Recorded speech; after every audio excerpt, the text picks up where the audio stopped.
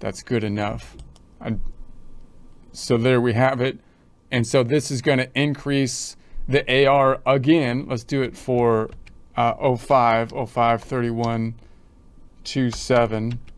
And so increase AR by the by the 37, increase revenue by 35, and the liability by the two. Let's do it one more time. Well, let's record it over here first on Excel. So I keep the pattern going over here. I'm going to copy that, paste it down here, but it's a number three month. A to the R. Let's just copy this down, copy it down, copy it down. And then this is going to equal the 37. Let's copy that down. And so what happens now after the next month, the AR would go down again. If this was, so this is like the only thing in there, you can see, right? It's still wrong because it's negative AR instead of a positive liability, unearned revenue, but easy to follow, easy to have the sub ledger. Ease of easiness is, is a good thing. Don't let anyone convince you otherwise. Easiness, it's supposed to be easy. So stuff's, if stuff's not easy, something you're thinking about it wrong or someone's lying to you probably because they're making it complicated to try to sound smart or something. So there we have that. Okay, and then so if we so now we can see what's left in here we had three months pass and it was 35 a month times two, right? Equals 35 times two. So is that, is that how, how, what? Yeah, I didn't include the sales tax though. So it was, if I include the sales tax, it's uh, 188.56 divided by five and, and now uh, times two.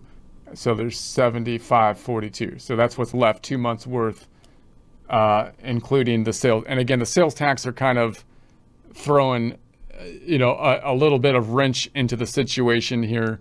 But uh, so so you might have to deal with the sales tax in different ways depending on where you're at. But there it is. The general concept is still clear. See, the government is one of those people that try to make th they make things complicated. That's what I'm talking about. It should be easy, but no. But no. Government comes in and taxes it. Don't worry, the tax is going to be simple. You'll understand it. How am I supposed to under it makes no sense. You wrote a law, a bill, and then called it like some crazy name like an Inflation Reduction Act that has nothing to do with like what you named the bill after, and then it tells me to do all this stuff that I don't know how. Anyways, you can see the pattern here. And then if you go into the profit and loss, uh, we can see the pattern over here, but something's wrong. Let's go into the customer center. Uh, something, oh, I need to change the range. You need to change the range. Going out to 05, 31, 27. So there we have the pattern, 35 being picked up per month. Uh, the total net income thus far at 255. Is that what we have over here? No, it is not.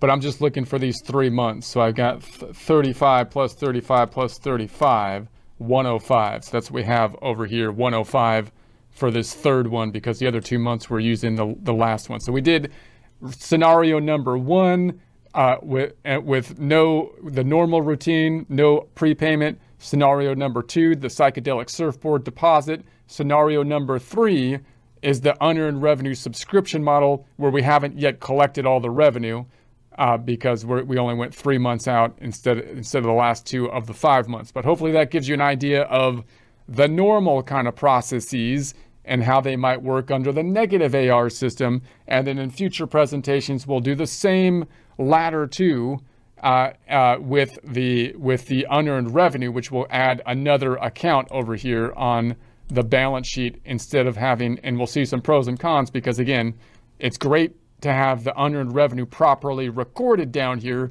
but it also means that we have two accounts that we have to deal with subledgers for our customers, which makes it a little bit more difficult on the bookkeeping uh, side of things, but th those are the pros and cons.